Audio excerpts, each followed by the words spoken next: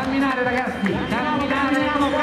In gergo si chiama mezza maratona, ma il suo significato è doppio questa volta. La quattordicesima edizione della Pisa Half Marathon è infatti la prima manifestazione di questo tipo a livello nazionale dopo il lockdown, con la partecipazione di atleti internazionali italiani di alto livello. Ovviamente le misure anti-Covid hanno contrassegnato la modalità di svolgimento, dal numero chiuso di partecipanti al controllo della temperatura con prefiltraggi prima della partenza, che è stata scaglionata a blocchi che partivano a distanza di un quarto d'ora l'uno dall'altro, e poi classifica basata sul tempo reale e niente premiazioni con i riconoscimenti che verranno consegnati in seguito. Siamo riusciti a fare quello che forse tutti avrebbero immaginato impossibile, un segnale simbolico di rinascita per la città, ma forse anche concreto perché di questi 2000 atleti almeno 1500 sono da fuori, abbiamo atleti da 24 paesi, più di 30 province italiane che hanno dato un piccolo, mi rendo conto, ma comunque io spero simbolicamente significativo contributo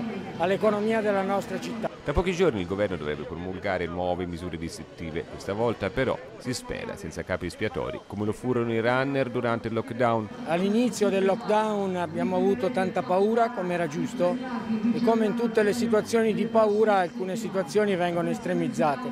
Oggi è chiaro che chi fa una corsetta nel parco non è il problema, non è nemmeno il problema chi partecipa come lei diceva a una gara con grande ordine e le massime precauzioni.